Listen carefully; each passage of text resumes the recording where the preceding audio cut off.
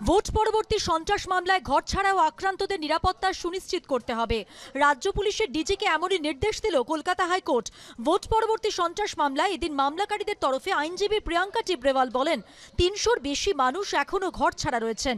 তাদের নাম ও phone number হলফনামা আকারে জমা দেওয়া হয়েছে। কিন্তু তাদের কাউকে কাউকে বাড়িতে ঢুকতে দেওয়া হচ্ছে না। বিরানব্বই জনের বাড়ি ভেঙে গুড়িয়ে দেওয়া হয়েছে। কর্মস্থলে যেতে পারছেন না। স্থানীয় দুষ্কৃতী এবং পুলিশ প্রতিনিয়ত হুমকি দিচ্ছে। জাতীয় মানবাধিকার কমিশন ও রাজ্যের প্রতিনিধি নিয়ে কমিটি গঠন করার দাবি করেছেন মামলাকারীর আইনজীবী।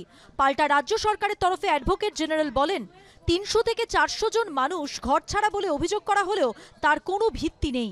অভিযোগ করতে হয় তাই করা হচ্ছে। আদালতে অ্যাডভোকেট জেনারেল আরও বলেন, আমরা সব অভিযোগের নিষ্পত্তি করার চেষ্টা করছি। এরপরে বিচারপতিরা নির্দেশে বলেন দুষ্কৃতী ও পুলিশের বিরুদ্ধে যে অভিযোগ রয়েছে তাও খতিয়ে দেখাতে হবে। ঘর ছাড়াদের তালিকা রাজ্যকে দিতে হবে। ঘর ছাড়া এবং আক্রান্তদের নিরাপত্তা সুনিশ্চিত করতে রাজ্য পুলিশের ডিজিকে নির্দেশ দিয়েছে আদালত। উনিশে এপ্রিল এই মামলার পরবর্তী শুনানি হবে। সৌভিক মজুমদারের রিপোর্ট এবিপি আনন্দ, কলকাতা। সত্য অন্তহীন। সত্যের খোঁজও তাই। সত্য সন্ধানে তাই আমরা অক্লান্ত অকুতভয় এবিপি আনন্দ নতুন ভাবনার প্রতীক, যা মনে মুক্ত, তথ্যে যুক্ত এবং যাবতীয় সীমানার বাঁধন থেকে মুক্ত। সীমা না, শব্দটির মধ্যে লুকিয়ে আছে মানা শব্দটি, যেন চোখ রাঙানি, এক অদৃশ্য বেড়াজাল যা আটকে রাখে আমাদের এক ছোট্ট গণ্ডির মধ্যে। একমাত্র সঠিক খবরই গড়ে তুলবে এক মুক্ত সমাজ। সেই জগৎ গড়ার লক্ষ্যে কোনো সীমানার ঠুকুটি আমরা মানব না। এবিপি আনন্দ এগিয়ে থাকে এগিয়ে রাখে।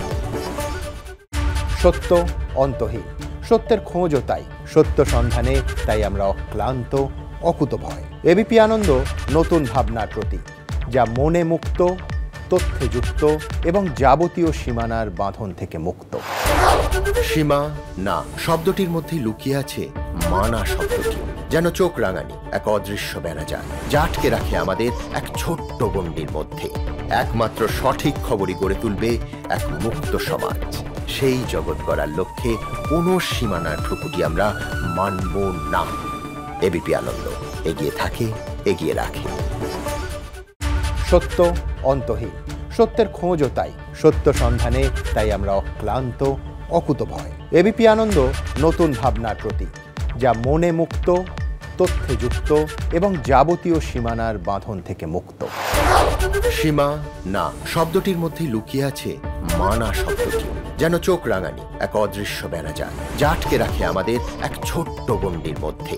একমাত্র সঠিক খবরই গড়ে তুলবে এক মুক্ত সমাজ। সেই জগৎ গড়ার লক্ষ্যে কোনো সীমানার ঠুকুটি আমরা মানব না। এবিপি আনন্দ, এগিয়ে থাকে, এগিয়ে রাখে।